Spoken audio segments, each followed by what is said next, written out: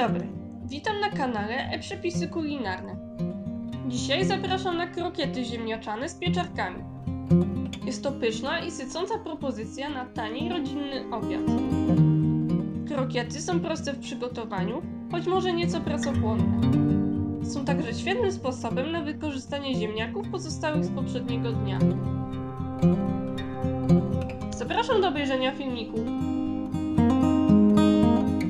Do przygotowania krokietów będziemy potrzebować około 800 g ziemniaków, pół szklanki mąki pszennej, 3 łyżki mąki ziemniaczanej, jajko, natkę pietruszki, cebulę, około 350 g pieczarek, a także sól i pieprz. Ziemniaki gotujemy w osolonej wodzie do miękkości. Na patelni podsmażamy cebulę i pieczarki pokrojone w kostkę. Ugotowane gorące ziemniaki tłuczemy z dodatkiem masła na gładkie pire. Ziemniaki odstawiamy do wystudzenia. Następnie do ziemniaków dodajemy jajko, mąkę ziemniaczaną i pszenną, posiekaną natkę pietruszki i przyprawy. Wszystko razem mieszamy, aby powstało ciasto.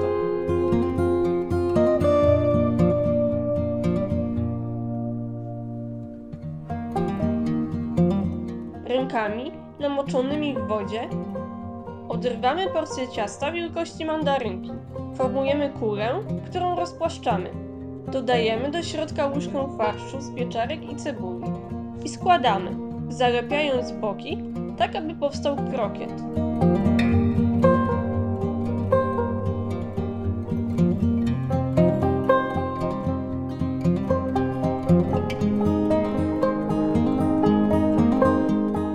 Krokiety obtaczamy w rozbełtanym jajku i w bułce tartej. Smażymy je na oleju z obu stron na złoty kolor.